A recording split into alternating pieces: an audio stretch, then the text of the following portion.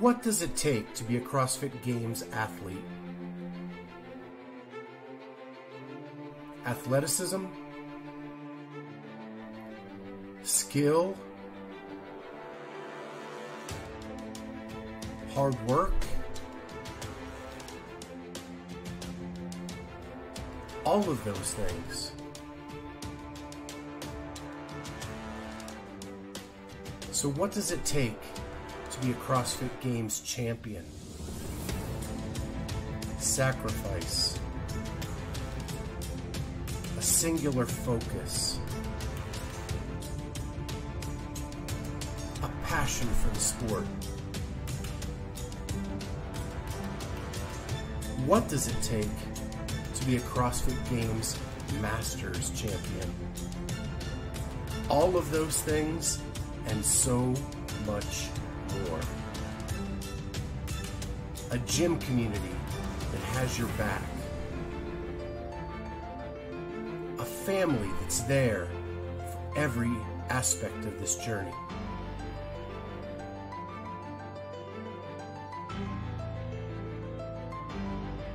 And most importantly, a partner who's there to guide and assist you throughout this journey.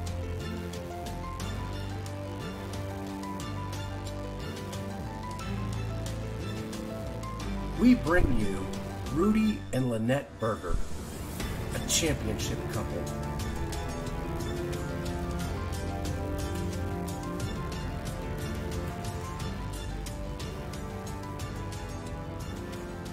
How did you guys meet? Wow. Do you want me to go or do you want to go? Uh, yeah, you you you narrate at the beginning. Okay. Yeah. So we were students and interns for uh, Kimberly Clark. I had just gotten here from Puerto Rico um, back in 2003. 2003. 2003. Yeah. Yeah, I got a job offer and they said, Do you mind relocating for this internship? And I'm like, No. They sent me to Neenah, Wisconsin. I've never seen snow. It was January 10th, the Yep. day I turned 19. Yep. So um, I knew enough English to pay a deposit to stay in this room at a co op house, they called it, and show up, unpack all my stuff, lock the house and every window and every screen door because, you know, crime's a little higher in Puerto Rico. So um, get this phone call, and I answered, and it was like, hey, can you let us in? And I'm like, who is this? And it was like, Rudy, I live here. And I'm like, boys live here? Okay. So I came down, unlocked the door, and ran back upstairs, So you guys were forced to live together basically. yeah. as interns, Yes. Mm-hmm. and this was housing owned by the company that you were working for. Unemployed, An had a employee rental, company. yeah. Yeah. Yep. Yeah. So where where were you going to school? So I was going to school at Toledo in Ohio, and she was going to school in, in Mayagüez, which is in Puerto Rico. Mm-hmm. And this internship was in you know Appleton, Wisconsin. So we both flew to Appleton or, or traveled to Appleton to for uh, this work experience. It was a Mm-hmm. Supposed to be five five months. month period. Yeah. So she opens the door. Was it was it love at first sight? It, it was. I was too scared to make, make it. Like I was like, I first of all, I had no idea that boys were gonna be living in this house because my parents would have not been happy with that. Um, because Mm-hmm. Rudy is more of a girl's name in Puerto Rico. so I knew that there was gonna be a Rudy there, but I did not expect to see this Rudy. Yeah. so yeah, So it was it was a little shocking. I, I come from a very uh, a town, small town in Ohio that lacks diversity, is what I'll say. and so being exposed to Lynette was, was different for me. And, and after a couple weeks, it, it, it didn't take long to realize there was chemistry for there. sure. Yeah. Yeah, we started talking, and we found out that we had a lot in common, even though we had a Yep. lot of trouble communicating. Yeah. Yeah, because that Um, was the first time for Lynette to speak fully, you know, 24 hours a day in English. Yes, and and let's just say that Rudy's Spanish needed work. Yeah. He uh, greeted me by saying "ole," which actually doesn't mean "hola," Yeah, doesn't. but I, He, I he thought what you were a bull. yeah, exactly. It's like yes. So, So no, cute, but as soon as we started talking, it was it was instant. Yeah, absolutely. Yeah. So, at what point during the relationship did you know this is the one? This is who I want to spend the rest of my life with? I would say so. The internship was supposed to be five months, and towards the end of that period, we were like, you know, like we there's something here. Um, at the time, you know, back to the Olay comment, moving for him to move to Puerto Rico was just not really Yeah. a good option at the time. So I was like, you know, what if like I finished school here, and he went to Toledo. I applied and got admitted, and I didn't even tell my parents until that was final because I knew that they were gonna try to talk me out of it, or maybe that was in my head, but I felt like if I let outside voices kind of have an opinion, I I might have changed my mind, but. I think we had something, and, and that was enough for me to want to move here. And we had that conversation like you realize i'm kind of moving here it's a big deal. So if this Yeah. is not serious like we need to know now. But the rest of history i mean Yeah. we, we've been You- you together went- since You went home for the summer, told your parents you're going back, and started in school in the fall, and that's and that's it. Yeah. Mhm. So, what? When did you propose, and how did that go down? So let's see here. We met in 04. I proposed in in 08, which Yeah. was oh seven 07. yeah because we got married in 08 that's I proposed in 07, a couple months before she graduated college. And I did it in Puerto Rico. I asked permission from her dad, which there was a translation there there, and he thought I was going to go take her to get married that day, not just to to, to get married. It was comical. yes um, and, and yeah, we you know it was uh, it was just the right moment. She's graduating college, and it was like, okay, we're gonna spend the rest of our life together. And so yeah, I proposed in Puerto Rico. How intimidating was it to ask her father? Well, um, it was intimidating twofold because it's her father, and I was s- s- trying to speak Spanish too, which is which was which was scary. And obviously, the translation came across: "I'm going to marry your daughter today," not you know. The daughter. Yeah. So my dad, um, he, I think he was shocked, kind of, and before before getting further into the story, my family adores Rudy. They treat him like he's a king. Like they just love him. So my dad was like, I'm sure excited, but he was like, "Wait, why today? Like, don't we have to like?" throw a party this is like a big deal but at the same time he was like well i really like you so uh, i guess sure so as soon as because he proposed at the rainforest so he talked to my dad and then we left and i only knew the we were gonna leave part. And my phone starts blowing up. Like my mom is calling me nonstop my aunts like every and i'm like what is going on? But we had very bad reception at the rainforest so luckily they didn't blow the surprise. Yeah. but my dad went to like my mom like why are they doing this now? But then you know it was a translation thing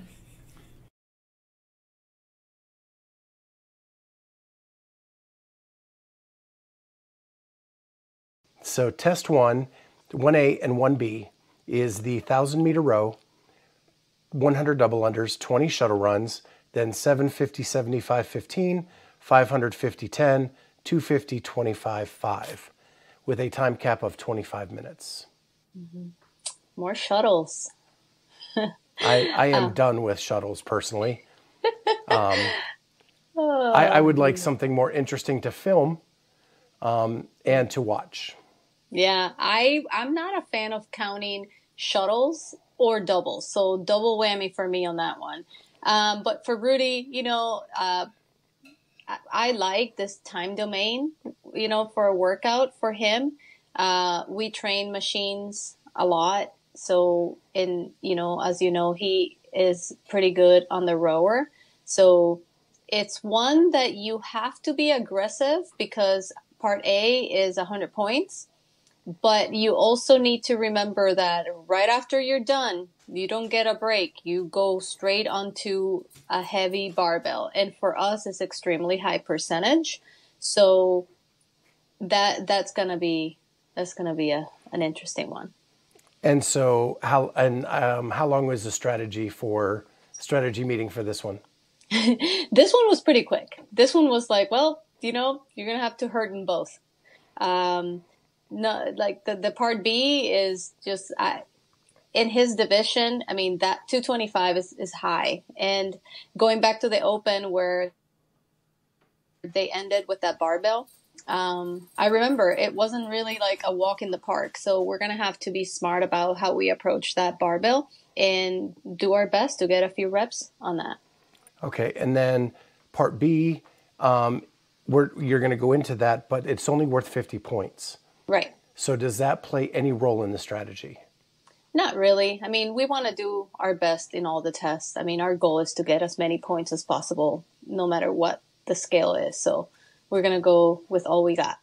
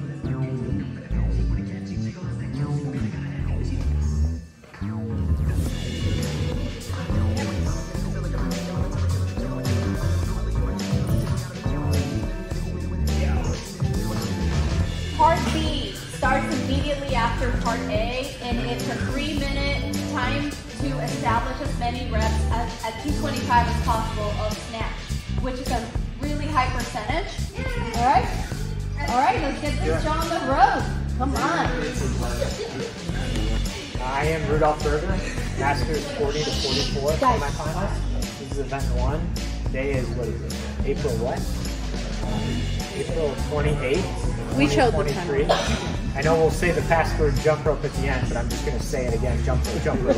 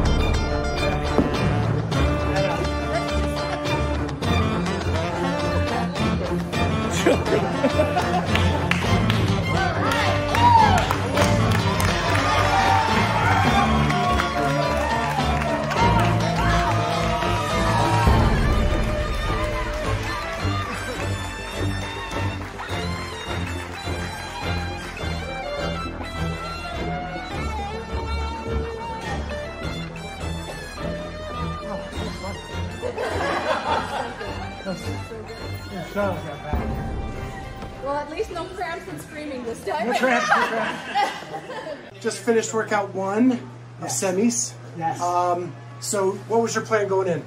Plan is to go hard. It's it's a workout that I know it was going to be. I mean, with a 25 minute time cap, I think uh, you knew it was going to be long, and it was just you got to kind of choose a pace on the row and hold it that's sustainable, and then you know doubles, doubles at our level we should be able to do all of those unbroken. I tripped a couple times, but that hap- that happens. You just keep going. Um, but yeah, the the, the strategy was just head down and work and don't hold don't lay don't hold up just keep going even even with the snatch at the end you just go You knew my next question. okay So, you didn't save anything for the snatch. You i didn't just. save anything for the snatch and that's because it was an a and a b but the b was only 50 points so most of that value is in that first workout in my opinion Yeah. yeah You go out there, you did trip up a couple times on the double under. How do you just like push that aside? you know, like so in training, we actually replicate that, um, where Lynette will throw me a different rope and say, "Hey, use this," and it just kind of gets you ready to where it's like, "All right, stop what you're doing," but then sharply focused to get prepared, and, or sharply focused to return to where you were, and don't and don't let it fluster you. That's So- just that comes come, that comes with experience. Absolutely. And then I also heard um, when I wasn't here for quarters, you cramped up on the shuttles, and you had to make an adjustment kind of on the fly. So what happened there? The second set of shuttles in the corners, my both my legs cramped up about 20 into the 50, and so I had to kind of shorten my stride and do almost like a shuffle, and just there was no stopping. I mean, you had to finish, you have to put a score in, so I just kept pushing myself. It ended up not affecting me like a, a, really big amount. It slowed me down, and I kind of missed my goal, but I just pushed through and when I crossed that finish line. If you've ever had Charlie horses, you know it just stops you, and it's funny. If, from a video reviewer perspective, they saw that they could actually hear me yelling at the end just because my feet cramped up so bad.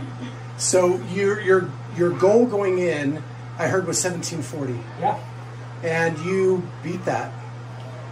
is, is coach allowed to? This this won't air until after May 10th.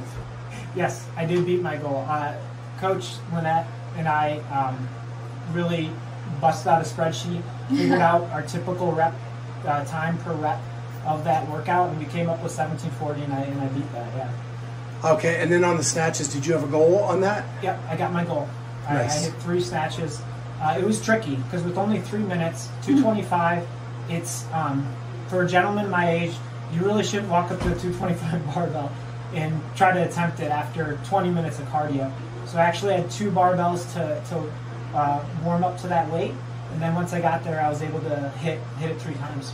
So that was my, that was my goal. And that last one was with not a lot of time on the clock. That was not a lot of time. I was a little behind pace, and so I was like, well, let's let's throw up a hail mary, see if it sticks, and, and yeah, I nailed it. And it. it stuck. It's it's stuck.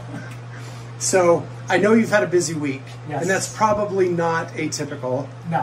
Um, not- so, uh, what's it like to get here to the gym on a Friday night after a hectic week and just put your headphones in, warm up, loosen up, and know you get to like throw down? So, I mean, you think about it all week because they release the workouts on Monday. So we're playing over scenarios. We're doing a lot of visualizing the entire workout in my head. But then when I get to the gym on Friday, I know I, you know, ate all the meals I needed to eat when, you know, meal timing. I have my pre-drink. I put in my headphones and listen to my normal playlist. And honestly, like, I, I figuratively close all the tabs that music's playing, and I get into a just a, a, a very calm mental state. But you know, calm before the storm is really how that, how that goes, and it's a, it's a fantastic feeling because you just it gets into a space that I'm there, I'm by myself, I can clear the mind and just get ready for competition. So, how does it feel to get one out of the way? Oh, it feels good. Twenty five percent done. Yeah. It feels very good, and, and it feels good to be in here, start to recover, go home, get some get some fuel, uh, mobilize, just just recover for the morning. And then, do you do a lot of mobilization tonight? I do. Yeah, I do a lot of rolling and, and just stretching and, and you know the Theragun, the, the Voodoo floss. um, but, but mostly hydration. I, I just drink a ton of water, good electrolytes, and just that's you know just get the body refreshed for tomorrow. so your wedding pictures are gorgeous. Thank you. Thank you. Where where did this take place? Puerto Rico, uh, uh, a town in the north part of the island. Um, we had about 30 ish guests from the U.S. come Yeah, down, friends and family, and uh, pretty small crowd from my side. Yeah. And we were there for a week.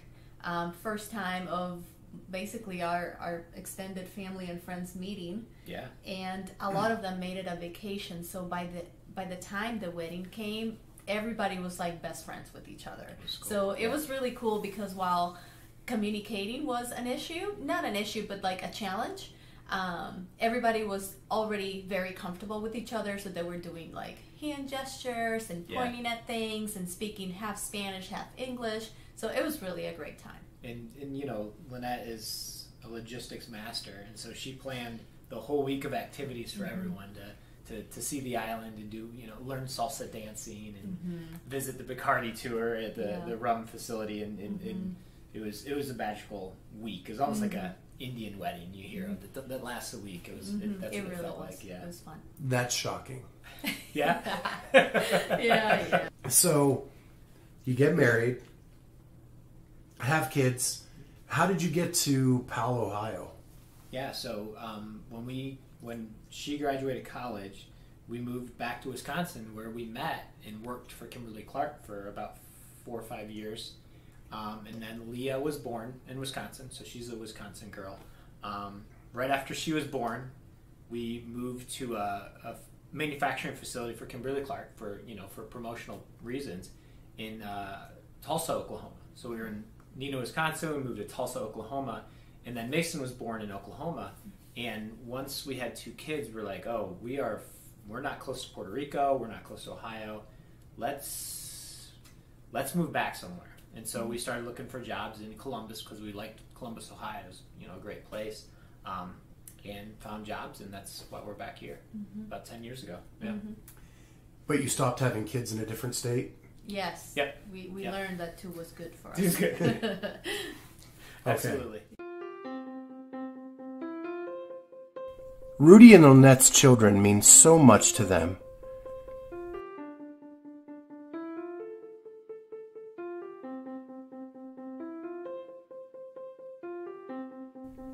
And the kids are active participants in Rudy's journey. Here's footage of Leah climbing a rope to get the proper tape mark for Rudy's workout.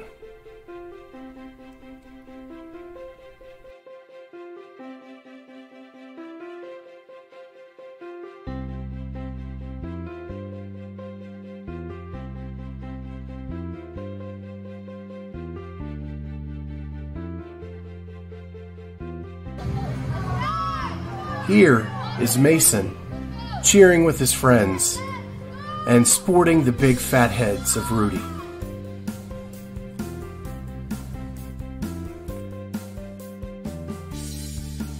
And it's all reciprocated. So Leah, Here's Leah at a track meet, and Rudy and Lynette cheering her on, Let's go, Leah! Keep going! just like she does for her dad.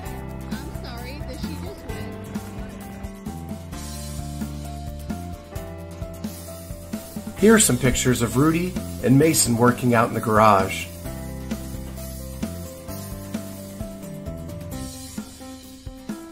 Here's Mason after a tremendous amount of O2s at the CrossFit Games.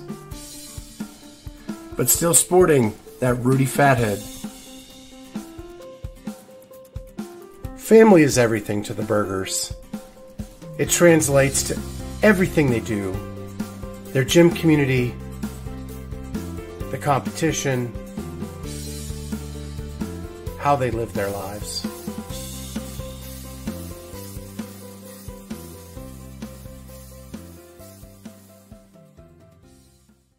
And then test two, um, probably the major strategy workout, and that is the choose your own adventure, as many muscle ups and thrusters as you can do in five minutes, with a minimum work work requirement of 15 reps each.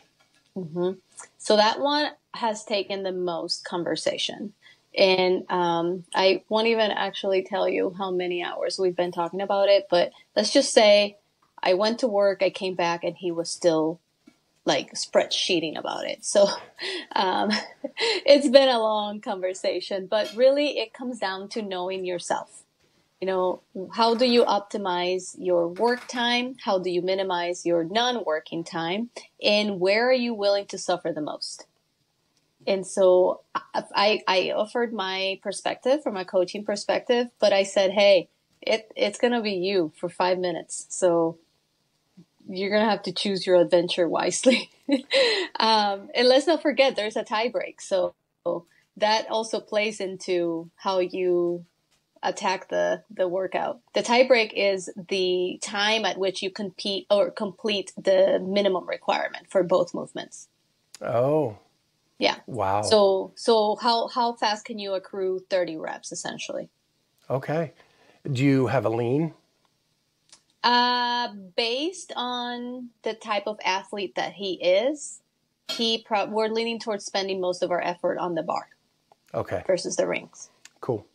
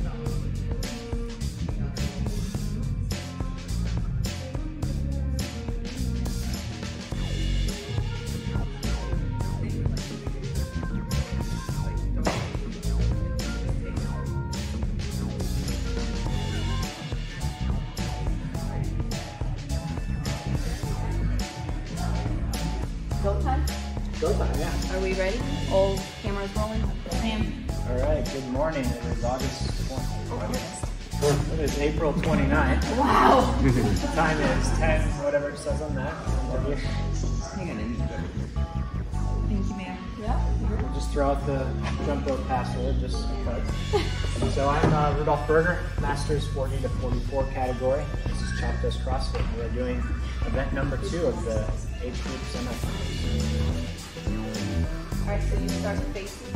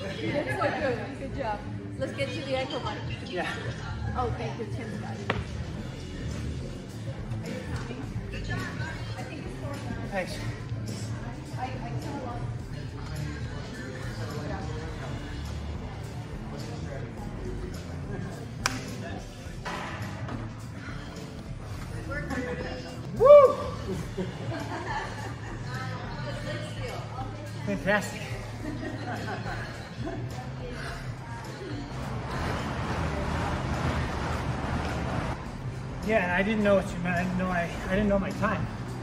I couldn't tell. I was trying to tell you. I was telling you time. I couldn't tell. I think next time when it's like that, we need one person saying. I heard a lot of voices. So I couldn't tell what was left on the clock. I couldn't tell from. Well, I was trying to scream at you. Like I was, I was coming up to It would be like probably the best just countdown. Ten. Yeah, nine, but you were, you were off. eight. Like you were not like taking to any kind of. I know, but and that's why it's critical to know the time. You know what I I mean? know, but you weren't like you were kind of doing your own thing. I'm aware. The last 10 seconds. I, we weren't clear on the last 10 seconds. 62.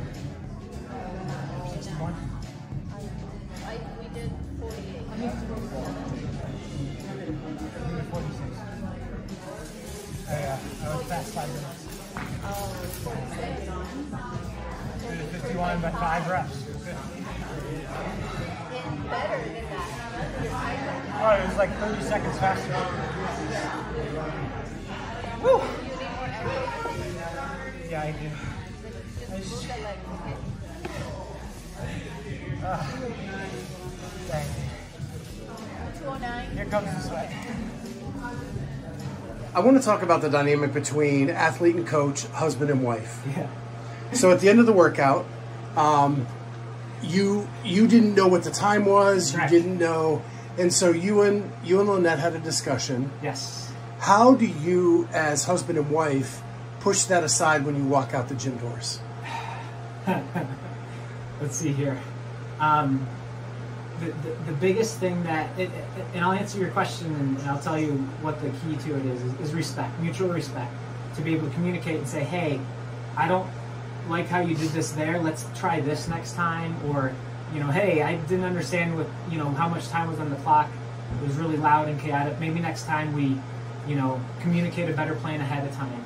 And just it, it at the end of a workout you're emotional because it's just you know emotions are flying but kind of pulling that together and saying all right i'm going to be respectful give feedback and then kind of move on and it's better to be heard and to, and to say and to listen and put it behind us and then like you said walk out the door and uh, return to normal life Um, because at the end of the day, you both want the same goal, yes right? Yes. And so with that, an athlete and a coach have to communicate, absolutely yep. and the husband and wife have to forget about the emotions. They do.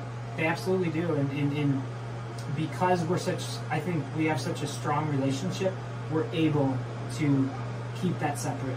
But it's not easy. It takes a lot of work to keep that, to keep it separate. Yeah. So, and I noticed as the cool down was going on, the conversation became less emotional. Absolutely. Definitely. And, and, you know, when we're training, we, we don't really get too emotional because if, you know, it's, it's always fun because she programs my, my training and my workouts. And when I when we get done, if it if it just really kicked my butt, you know, I'll I'll keep my mouth shut for five minutes and cool down and relax, and then I'll give her feedback. And, and we, it's a much more productive conversation. And being together, like a lot. I mean, a lot of hours of the day we're together. You know, even when we're working, sometimes we're literally backs are against each other at computers. You know, working through. So like, we're always together. So so if you don't keep that respect in the gym and outside of the gym, it, we wouldn't be able to do this. Sadly.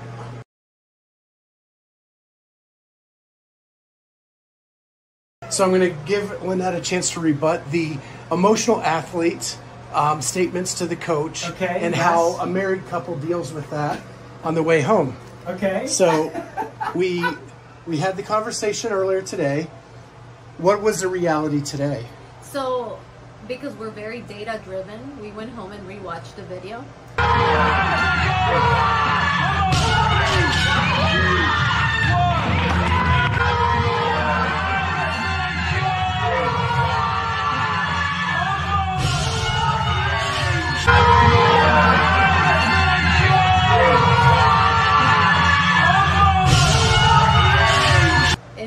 Footage of me going like, keep going. yes, And yes. he dropped the bar a little too soon, Yep. which probably cost him one rep.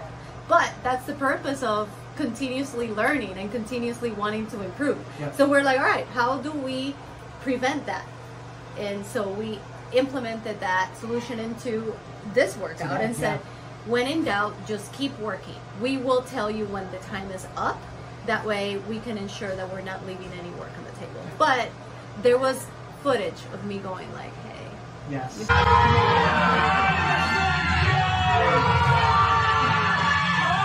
tough time. And, Well, and, And I do want to address one more thing. So, and this is her rebuttal, Rudy. So you have to I- be I quiet for a second. Yes, yes. So, Rudy said that it's re- mutual mutual respect, and sometimes it's emotional, and he has to give you feedback. But in fairness, you have the right to give him feedback as well. Correct? Absolutely. I let him give me the, the feedback first because emotions were high and he just worked so hard. So I put myself in his shoes.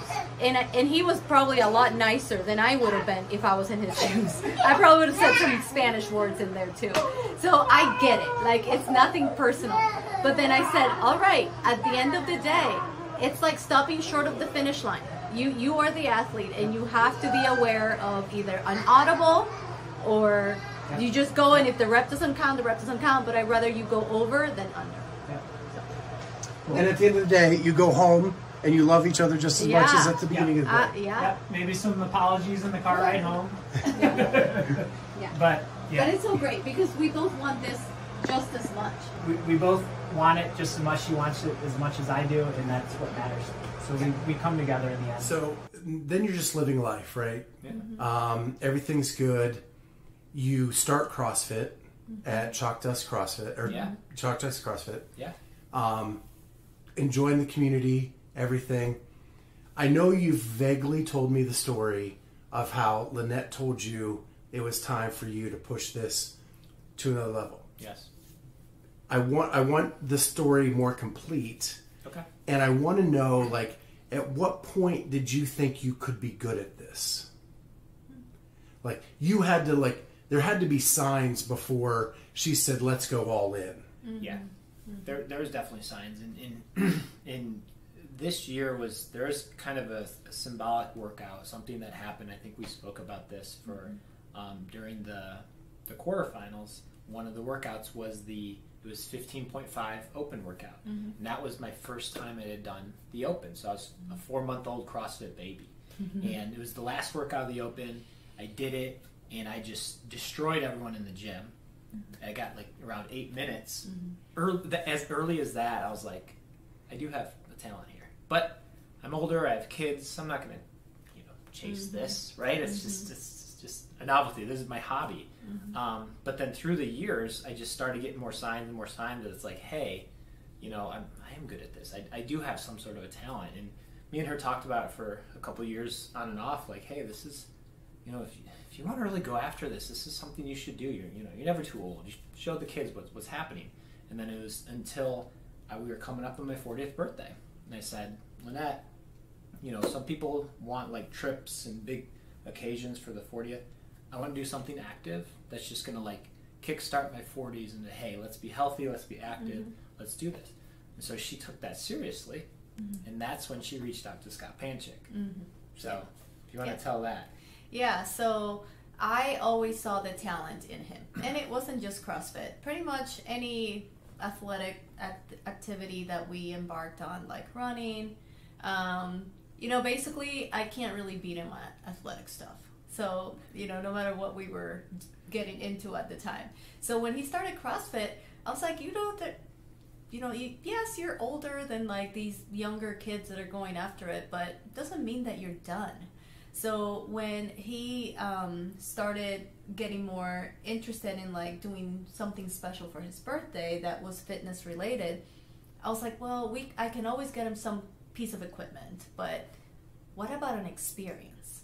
And I'm like, you know, we've always been followers of Scott, and he's an Ohio guy. He's super humble. Like, obviously, you know how much we love him and his family. So I was like, I'll just like call and see if he's taking like clients because what if like he can do a, a personal training session? That would be really cool.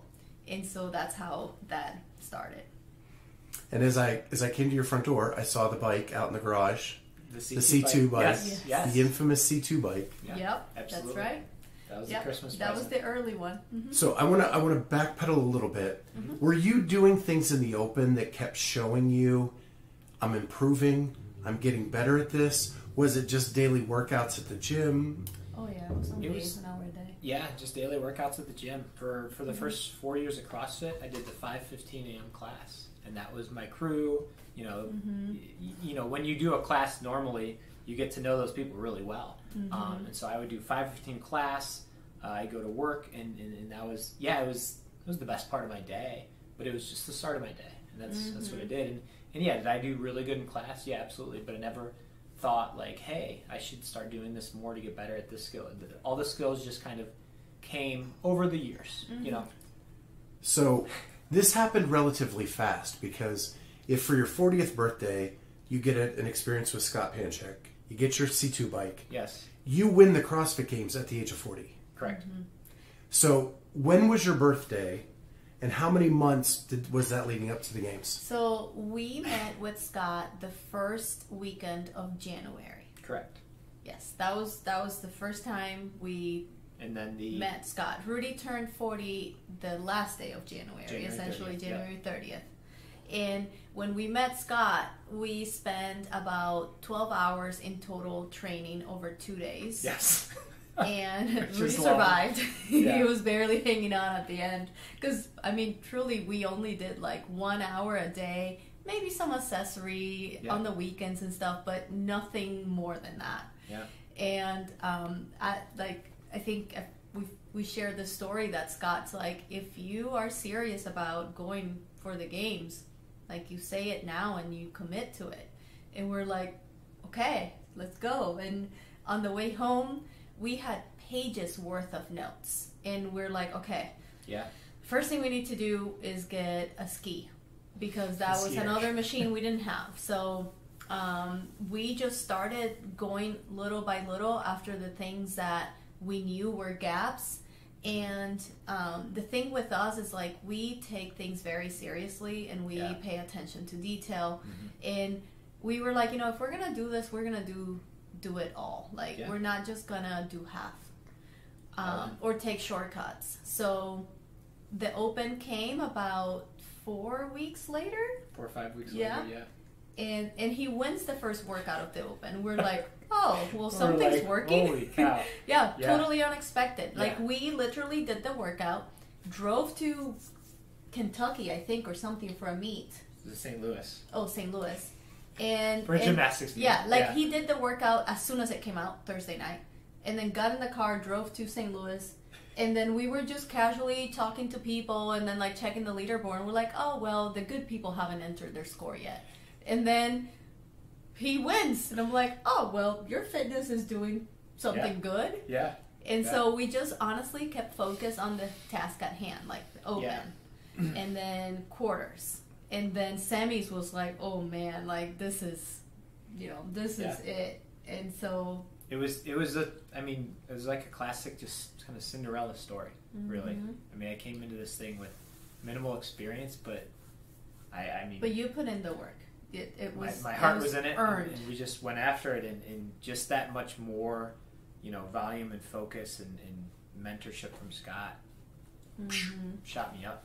So I want to talk about the mentorship because it's twofold. You had Scott as an athletic mentor, right? Mhm. Yep. Lynette had him as a coaching mentor. Mm-hmm. Right. And so you're both like sponges around this man to get as much as you can. Absolutely, that's the best word to use. I want to ask Lynette, at what point did you say I'm going to be his coach? Well, I don't think I had an option really, to be honest. Um, but you know, so so back back to that initial twelve hours with Scott. I mean, just being able to sit back and like look at how Scott coaches, I was like, whoa. Like, I mean, my brain was just overstimulated with information. Were you coaching already, just like Yes. class coaching? Yep, I had my L1 and I have been coaching for like about four years. And so seeing Scott took you to L8. Yes, yes, yes. So I was just like, you know, I think in general, mm, um, I, I mean, I had a really good base, and I and like the team at Chalk Dust is incredible. So as I had ex- I had exposure to really great coaches prior to Scott, so that really set me up for you know a really good start. But then seeing Scott just you know you know poor you know like the recent documentary that came out uh, about Scott like his sister nailed it. He's a great athlete, but he's an even better coach. Yeah. And I am so glad that that was said out loud because since I met him, I felt the same way. And I'm like, to top his athletic like resume is really hard, and he does it easily by how amazing of a coach he is. So Yeah. when we came home, I'm like, okay, I, I remember a lot of what he said. I am going to put every single thing into practice. So I just became the, the coach. I'm like, okay, we're going to do this. Yeah.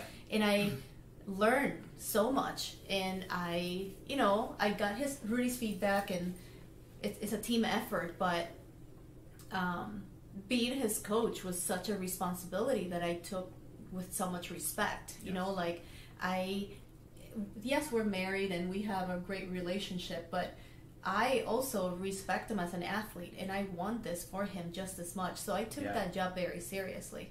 yeah, In that first year, did you believe in him more than he believed in himself? I believe so. yeah, Yeah. She did. Yeah. did. Yep, for sure. So where is that today? Well, I believe in him just as much, and he continues to ginger exceed my expectations. So I just like I believe the same. I just have greater aspirations now. Yeah, and and- and I think it's I've built confidence over this past year, just when I learned that I can do things that I didn't think I was going to be able to do, and it's it's cool to already be able to compare last year to this year. And what I mean by that is it's, it's certain capacity and movements, or even mm-hmm. you know comfort with certain movements, where it's like, wow, I you know I, I wasn't able to do three legless rope climbs in a row, and now I can. You know, it's mm-hmm. like there's some growth there, which is mm-hmm. it's the beauty of CrossFit for everyone. You know, the journey that they're on. Uh, but when you make those milestones and you keep progressing, I, it builds my confidence to where I believe it more. hmm And we're we're both data nerds, as you know by now, and so Yeah. the fact we're we're wired actually very similarly. So we our brains grow confidence the same way. So same thing he described when he realizes he now can do three. I'm like, oh, for sure you can. And it's not that I'm trying to build you up with words. Remember, and then I pull up all the days that he's done multiple. You know, so Yes. yeah, it's it's a good back and forth of, absolutely. of building confidence for Yeah. sure. So outside sources are telling me that you are completely different in your own belief mm-hmm. this year to last year. Okay. Yeah, I I agree. I am. I, I there's before it was still a I wasn't sure if I belonged, and I was like, okay, are these qualifiers that I'm doing are they just a fluke? Is everything just lining up? You know, the plants aligning, and I'm I'm coming through. Um, and so even when we were training for the actual games in the summer, it's like, all right, I'm going to do my best. You know, I'm not going to embarrass anyone. I'm going to really put up a comp- competitive fight. And it wasn't even through halfway through the games that I realized, oh, I think I can win this thing. And it was like it just set me on fire to where okay, now my confidence is growing. Now I can now I know what I can do, and I still hope for the best. I don't. It's not like I have this expectation that I'm going to win everything, but at the same time, I have the confidence that I can, that I can win.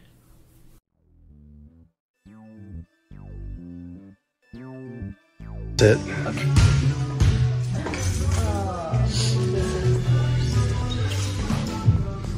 I should probably let, let it just sit for a minute. Keep refreshing. That was about 30 seconds. Here's AMT. Here AMT. Oh yeah. It's about another 30 seconds. It's a reasonable break. Nope. All right. Well, let's go, leaderboard. Come on. But yeah, don't don't say anything out loud.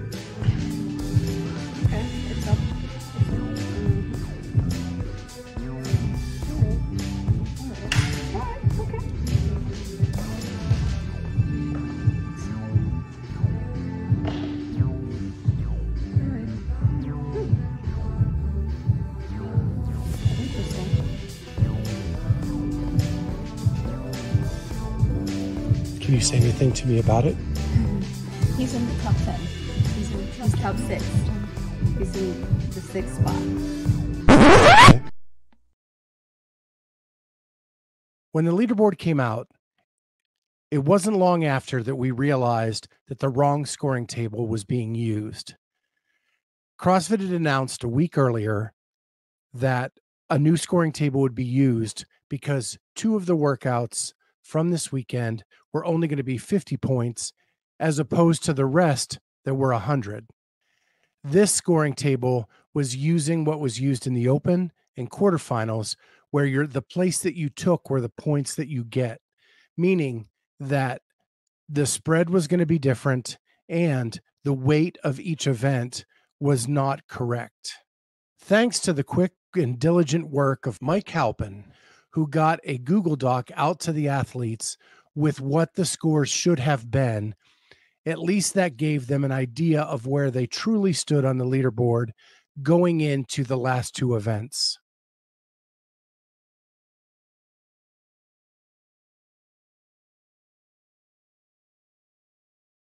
We're looking at test 3 mm-hmm. and test three is an A and B. It is DT's little brother of seven deadlifts, five cleans, three shoulder to overhead, and it is interval style with five intervals of two minutes on, one minute off.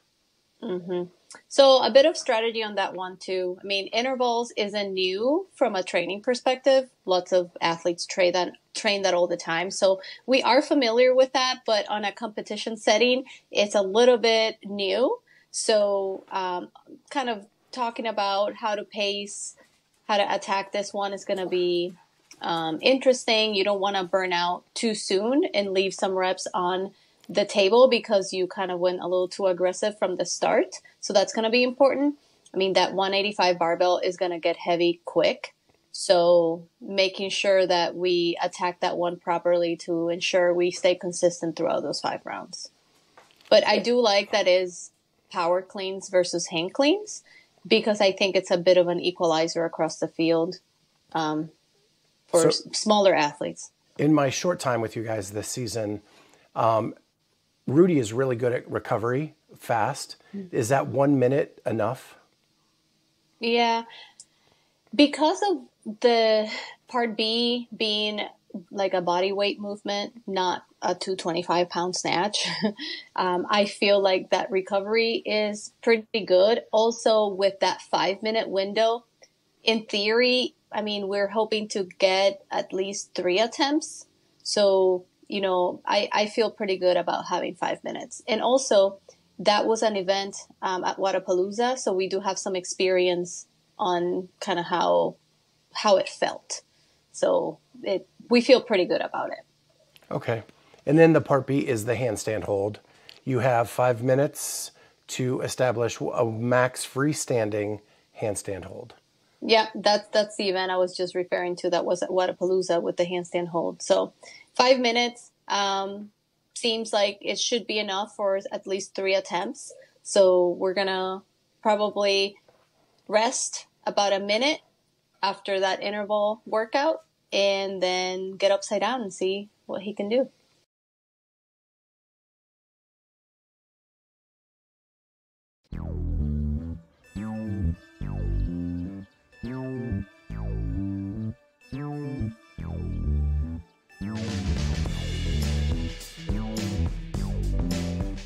So now we're off to event three, and we're back at Chalk Dust where Rudy's going to throw down.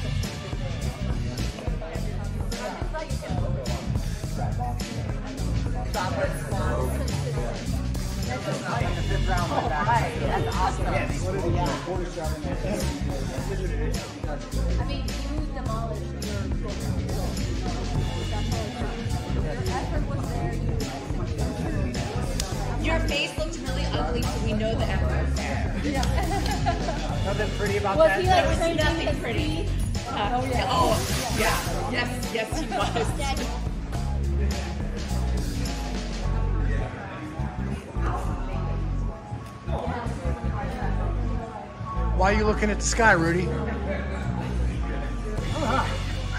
Kind of stretching my neck, man. Oh, didn't know if you were looking for help.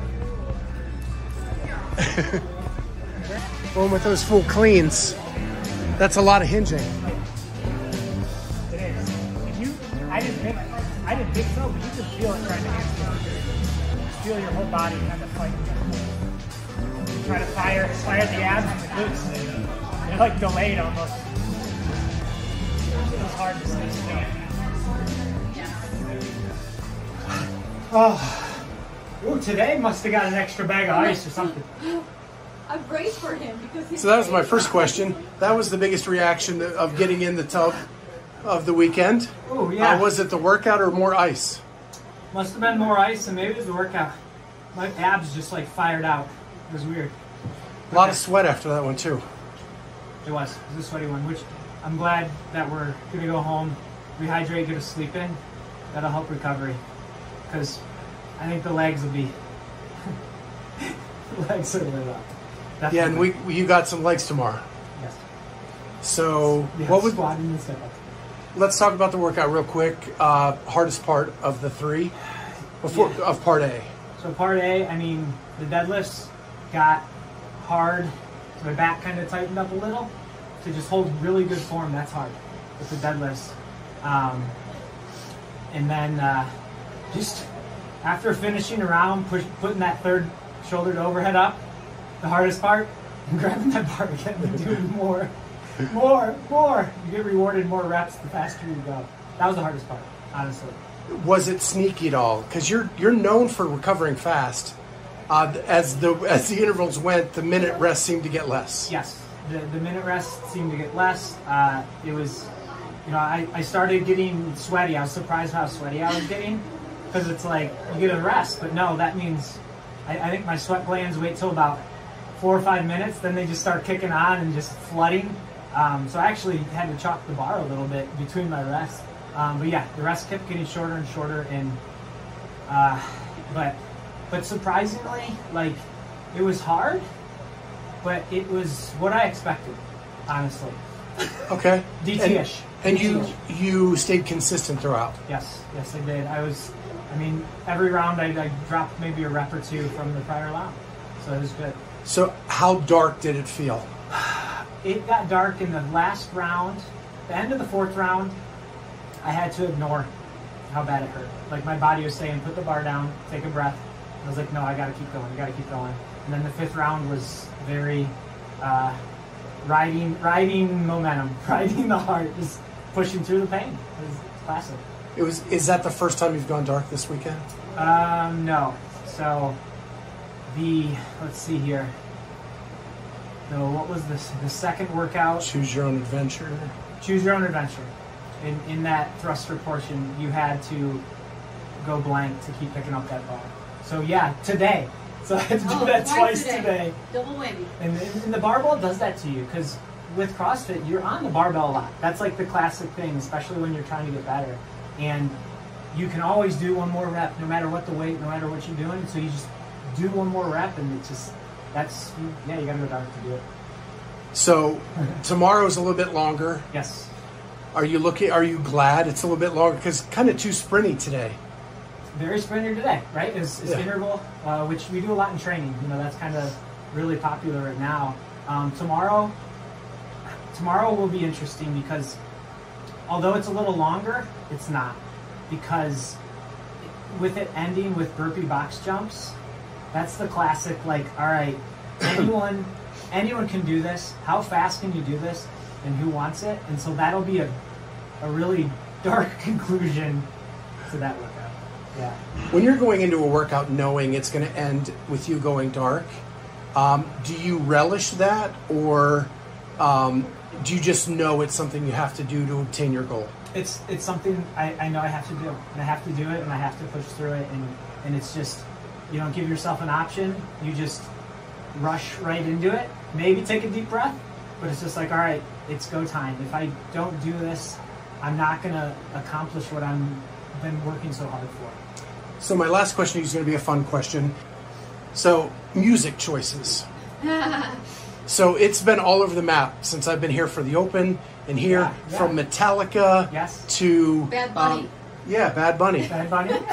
So do you make a conscious effort in the music? Does it matter to you in a workout? It does. It does. It matters to me, um, and it's it's fun because everyone in the gym like asked me because I had a playlist I made last year for all these workouts, and everyone got used to them, and they like were like, oh, that's the song of the year or whatever. And so I made a new playlist this year. So when when the first Open came out, they're like, oh, do you have new music? I'm like, yes, of course I have new music. And so yeah, it took a while to select songs that I like, and I like to pull back from like our younger generation and, and even older and newer songs. So yeah, it's music's important because honestly, I, I it takes my mind off and gives me a slight break, but also I like the interaction with with with, with our community on the music. And he has songs there from Liam and from Mason. Yes, songs that have they have significance from both the kids. Yeah, absolutely. And Bad That's Bunny's great. there for me. And Bad Bunny, yeah. And when you're making the, the playlist, is it kind of a shut your mind off, not think about work, not think about training? Yeah, absolutely. Yep. And I, I listen to it um, and just see how the songs flow from one to another, you know. And, and there's always ones that I will always put in every year that have significance. That I don't know if you noticed, but like when we were going to the handstand walk, I had Jason kick the song forward because I knew I the Tiger was next, and I know that gets me really going. And so it's like, all right, kick to that next song. I need need a little bit more juice. So back to Scott.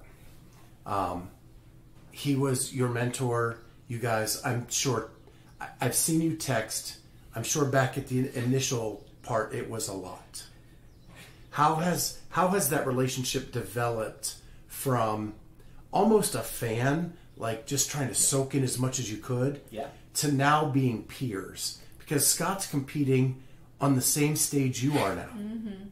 I would say Yeah. I would say our um, back to giving him credit for being such an amazing coach. I think when you take so much pride in your coaching abilities and your passion, there is nothing better than somebody that soaks in what you do and Yeah. makes you proud. Mm-hmm. So I think that in itself was like like Scott at first was like these two interesting people came up and trained with me and like he's really good but like I sent him away with a list. I don't know what they're gonna do. I mean I'm sure like, you know, we were Yeah. there, like we just had met. Yeah. And so then we don't like go anywhere. Like we we're, we're sticking with it. And he he's like, all right, let's focus on the open and then quarters. And now you're and I'm like, what? Wow, you're going to the games, Rudy. Like you did it. And so I think that was kind of the the, the pivot moment where we were like, okay, well now now what? Like let let's go, let's do this. Yeah. And so I remember um, at the games when we saw him because he was Spencer's coach. And so we ran into him a few times, and, and I, of course, texted with him about strategy changer. um, Let her go. yeah, go. Um, I I texted with him a lot about strategy, and then he showed up to the final event and to another one too. Yeah. Um, and so they were invested. They were like, "Man, Rudy, Rudy's gonna take this." And so it was such a, I don't know. It's just it just came full circle for progression of Rudy. You know, hitting milestones throughout the season, Scott's there witnessing like, hey, Rudy did this many things unbroken today, or he just did this one thing that he couldn't do before. So he's witnessing all these things via me giving him updates. Mm-hmm. And so he's replying back to me with like, man, Rudy Rudy's really fit. You know, he, needs to be confident. He needs to believe in his fitness. So all of these things that I would, you know, translate to Rudy and, and make sure that he knew what Scott was like communicating. So then back to August where he's wearing a Berger shirt, sitting on the stands, cheering Rudy on, Yeah. finishing his last event. I mean, how yeah. special is that? Yeah. So they, I had to go and like, you know, chase Rudy down after the finals, but both him and Kristen hung out with our, with our crew for like 20 minutes, and like, him and his mom had a moment with them, like Yeah. tears and just very special. So Yeah. our entire crew loves the Panchiks. Like we're we're we're Panchiks fans. Absolutely. So I want to talk about this year. At this point, you have qualified for the CrossFit Games. Yes. We got to wait for the official word. Yeah. You are getting to defend your title. Exactly. 16 months ago, could you have imagined that you'd be going back for the second straight year to defend a title? No. 16 months ago, I was I was I was trying to qualify for even semifinals. Right? I was like, mm-hmm. let's let's go for semifinals. Then we get mm-hmm. semifinals. Like, let's go for the games. No, I couldn't imagine that I would tell you, yes, I'm I'm trying to defend my title. I'm trying to return to get my championship. That's mm-hmm. that's it's unreal. Mm-hmm. It really is. It's funny because you say Cinderella story, I think Rocky.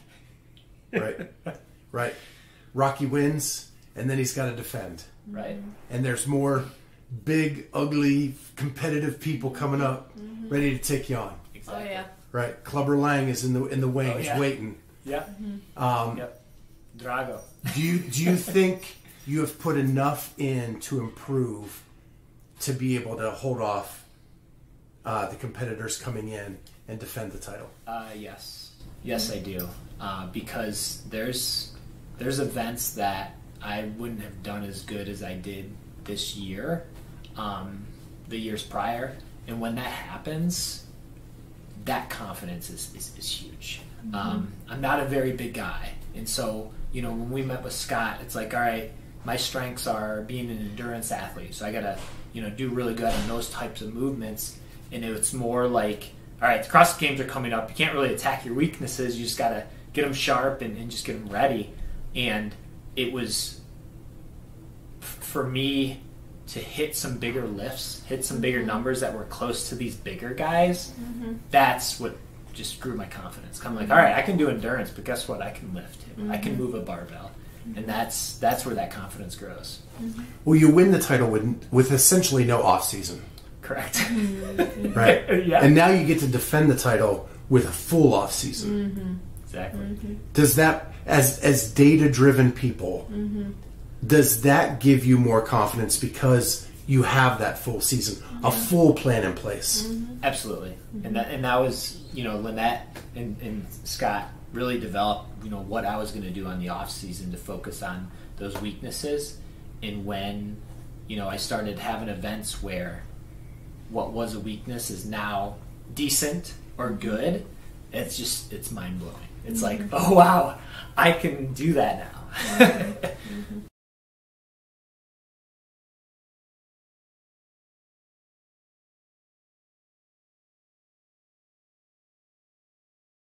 Okay. And then test four is 20 burpee box jump overs, and then two rounds of 20 kettlebell step ups, two rope climbs, two rounds of 20 get- kettlebell goblet squats, two legless rope climbs, and then 20 burpee box jump overs.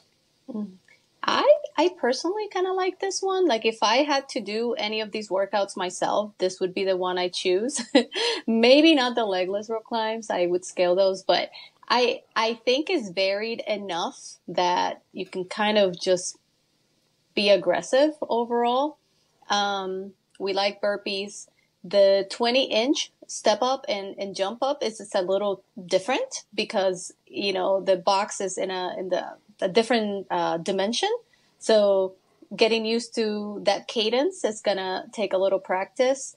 Um, the kettlebell is interesting. Those two movements wouldn't have been ones that I honestly predicted. Um, not mad about it. I mean, it is what it is. It's a heavy kettlebell, so um, it's all about keep moving on that one and be aggressive, but also manage your breaks in a way that you're not staring at any movement for for for a long time.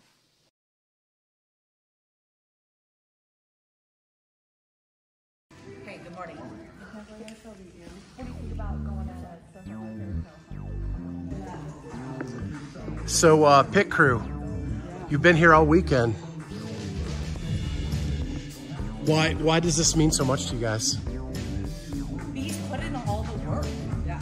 He, there's nobody more deserving. Yeah. I mean, the man goes to work all day and trains. That's admirable. It's, uh, you know, all the effort that takes place, you know, every day. You see it in the evenings, training with the weekends. Like, he just doesn't stop. So, just makes you want to be there to support him every step along the way. Oh, wow. Plus, I'm building my resume. He's like, he's like my best friend. You're gonna be a judge at the games one of these days. Make sure we I don't know. that on Andy's like the happiest guy. He's like always like stoked to see you. It doesn't even matter like what day it is. He's got shit going on. It's good. We're happy to be here. So, what what kind of pride do you guys take in making it perfect for so it's set up just right for him? We know how much she worries, so we can take that off of her. That's the best.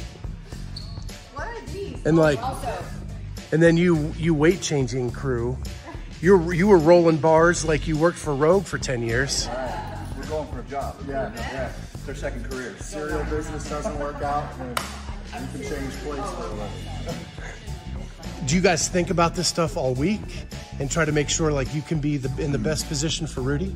Yeah, I would say once the, uh, the workouts come out, then we have the text thread where we're starting to bounce ideas off of what makes the most sense, and then we start piecing the plan together from there. So um, we usually have a pretty good idea of what we want to do before we even walk into the building. Seems we're fine here, so.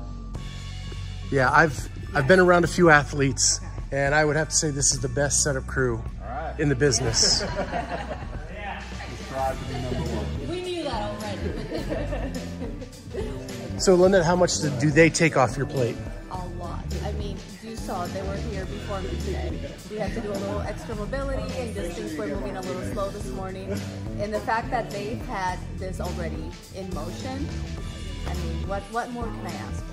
And they already had scenarios thought out, like like you guys have plan A's through F. Oh, yeah. It's like they have plans A through F. Yeah, totally. And then you just come in and say, yay or nay. Yep.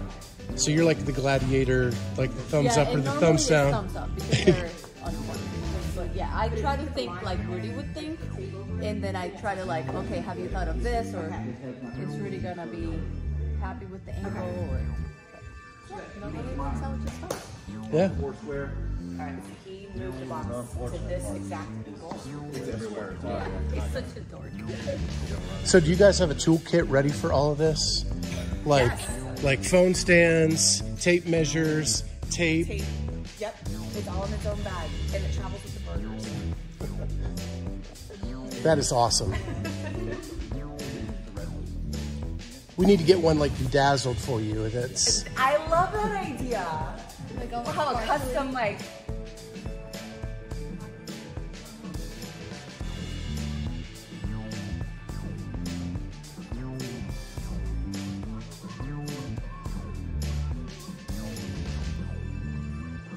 What's what's the sense of pride for you guys and the community that comes out and supports and Yeah. I mean, it's he's one of our own. He's, we do it for him, we do it for us. That's just kind of how we roll as a gym and a community. Yeah, I mean, I texted him earlier this week and was just like, it's just overwhelming to watch, you know, all these people that come into the gym uh, for his workouts and for everything. But like, I mean, they we are pouring our energy into him for as long as he's in this fight, right? So like every workout, everyone is like laser focused on Rudy. Like, they're just pouring energy, pouring energy, and like nobody wants him to do anything but just dominate. And it's just it's cool to watch. Like through your camera, you see it. Like you're behind everybody and you're like watching all of their reactions as well as Rudy, but like the people behind him are just like they're all in. And So what what's the week leading up like? Is there a lot of thought that goes into like how are we going to schedule this? How are we going to move equipment? We leave Do- that pretty much up to Lynette and Rudy. Like, you know, like you tell us where you want us to go because they've already been strategizing. They've already had the thought in their head, and we're just like, yeah, let's whatever you want to do, let's do it. Uh, Because it, I mean, it's it's their it's their gig, right? So, and they know what they want to do. So we're down for whatever they need. So the gym I go to, they close down on the weekends when things like this go down. Yeah. You guys don't close down. Yeah. No. We canceled one class, I think, on Friday. Yeah. If if they needed us to close multiple classes, I'm sure that we would have that discussion and make that happen. Um, but I don't even think they want that. You know, I think that the community, the community's here for them, and they're here for the community. Yeah. So. Yeah, they they wouldn't want to take that away from the community. No, I don't think so. So, and not that there's anything wrong with that, right? Like Right. everybody would totally be down, but uh, yeah, it's, it's just a, it's like the coolest experience. And year two is even cooler. First year we didn't know anything, we didn't know what we were up against, but this is just, I mean, we're almost like pros now, right?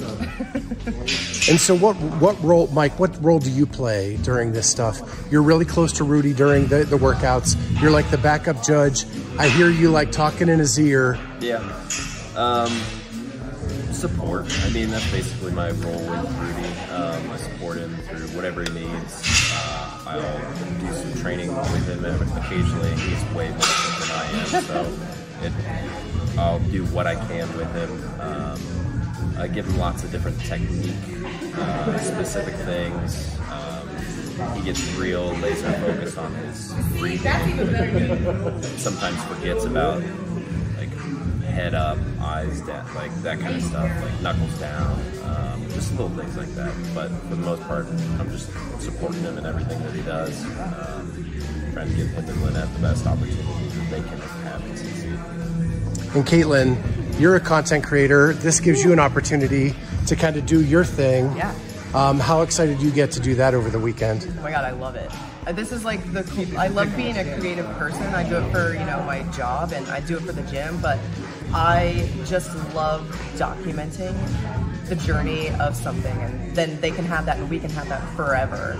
Um, I think it's very important to document. You know, the journey from 2014. We made a video. I pulled all of my content from 14 until up until last year, and made a video for them to have forever. And it just showed this evolution of Rudy and Lynette and Jim and us, and it's just so important to document all of these things. Uh, and and I love doing it, and I keep getting like a little bit better every time. So it's gratifying.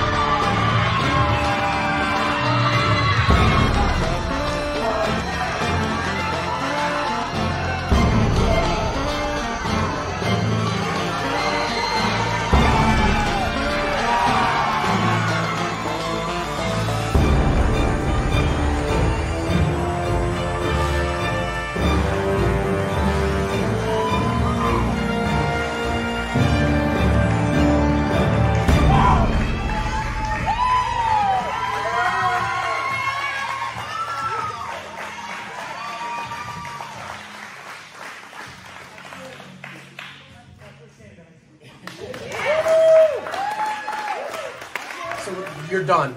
Final event done. Um, how you feel? feel great. I feel really good. It was those last set of burpees. You know, it's kind of like a one final kick in the teeth, but I feel really good. Yeah. So when you were warming up, I heard you guys talking about clearing the box. Yes. And I was like, what? And then that whole last set, you cleared the box. Why? Yeah. Why that strategy? It's it's faster, and you're it, it's at the end of the workout. You just you find every ounce you have left, and it's just it's just a little bit faster, so you can get through those burpees really fast. I think my first set of burpees were 80 seconds, and then the last set was 65 seconds. So like that much faster. Yeah.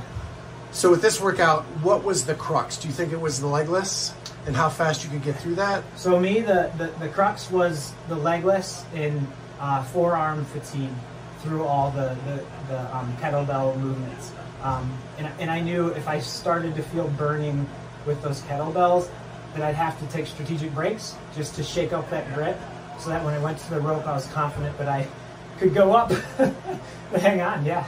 So that goblet hold really did have an effect. Yeah, it did. Absolutely. You, you wouldn't think because, you know, we do workouts with, with double kettlebell 70s, but yet through those rep schemes and with the rope climbs and you, you know, not taking real, real breaks, it built, built up. So I heard as we're coming in here, your first two workouts are validated. Yeah. How does that ease your mind? That ease my mind that, like, the scores are through. I know they're good.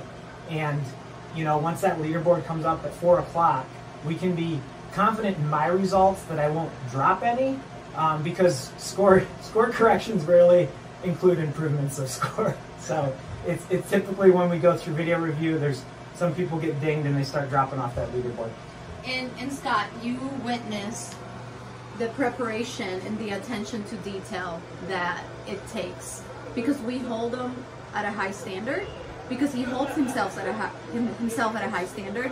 So we just work together to make sure that what we're gonna submit is gonna be good because we don't want any no reps. And, and she no rep me. Yeah, I know rep him once. She no rep one of those step ups. Does that um, does that go back to what we talked about yesterday Trust. with with feedback Yes. and forgetting it when you walk out the door? Exactly. Oh, yeah. Feedback and He and- actually thanked me. I He said, thank "Thank I you." thanked her for no repping me because that's. Well, your upset. mentor is Scott Panchik, and the Panchiks have been known forever for having the best standards in the sport. Absolutely, and that's in, in just remembering that that's my mentor and, and the integrity there makes us say, okay, if, if we don't do a good rep, we're gonna no rep it and do it again. So I'm going to ask you a word question now. Um, I've talked to some athletes who put on their games gear on days that they just don't feel it because it reminds them of what it's all about. I noticed final workout, full games gear. Full. Was it to remind you why you're doing this and where you have to go to get there? Absolutely, absolutely. I, I mean, I, I had my for the four workouts. I had my outfit for today laid out first. I said, okay, this is what I'm gonna wear. We're going black shirt, full games gear because I earned those clothes and I want to earn them again. And it just it just reminds me of, you know, how when we went to the games, we absolutely treated it as a celebration of fitness, and that's exact absolutely what it was. Because you work so hard to get there, and then you enjoy it and you celebrate. So having those clothes on just puts me in a mood that it's it's it's it's undescribable. So just like Sunday Tiger, we now have Sunday Rudy. Yes. I'll take it. I'll take it. Yeah, full games gear. It's time to get serious. It is. And, and when I was, you know, had, had trained with Scott and we talked about the games, you know, one of the things that he pointed out and a few other games athletes that I've talked to have said, you know, the last day of competition, the Sunday, whatever that day is, and when you go that last day, you want to be there. And that's why Sunday for me is as powerful as it is. So you started this journey a little bit later in life, right? Yeah. And these opportunities aren't grant aren't given, right? No. And you don't know how long it's going to last. Absolutely, Scott. So your speech at the end with the appreciation for everybody, does that does that resonate with you? I you don't know how many shots at this you have, and the appreciation of everybody supporting you through that. It absolutely does. And, and, and I'm grateful for them to come, and I don't take it for granted that, you know, most of those people, they've, they've come to all the qualifiers over the last two years, which is a lot of workouts, but every single one they come to, it, it means the most. It, it absolutely does. Yeah, this could be my last, you know, workout here, trying to qualify for, for an event. And I want to make the most of it, and it's just it just makes it that much better. It, it, it's it's memories that I'll always have. Well, I want to thank you again for letting me document this journey. Well, you're welcome. Um, it, it was a special weekend for me watching you and Lynette and your interaction. um, it means it means the world. You're thank thank you, Scott. I really appreciate you being here with us.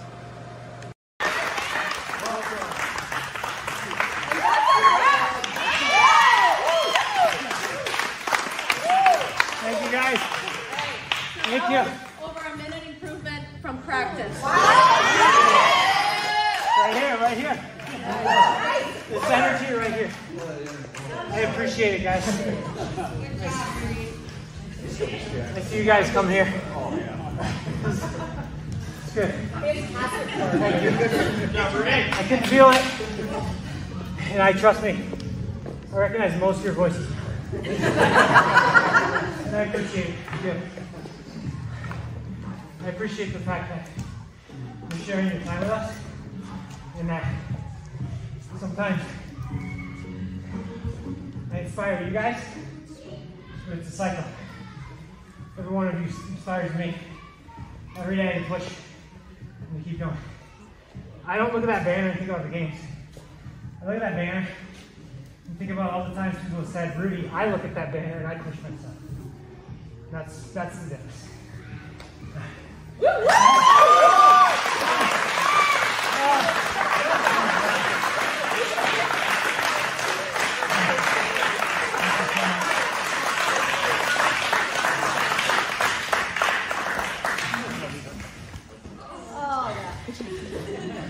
Whoa. All right. Get some cookies and pizza.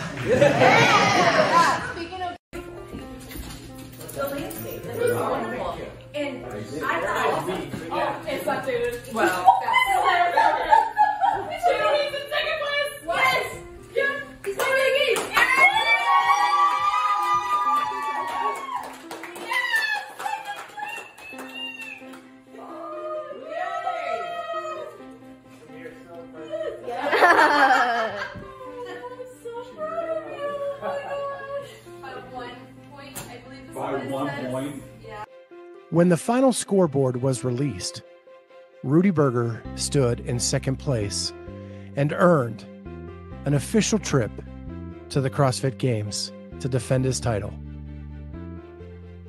I think Rudy would tell you along the way it's great when you win the CrossFit Games, it's great when you do amazing things at competitions, it's great when you finish semifinals in second place.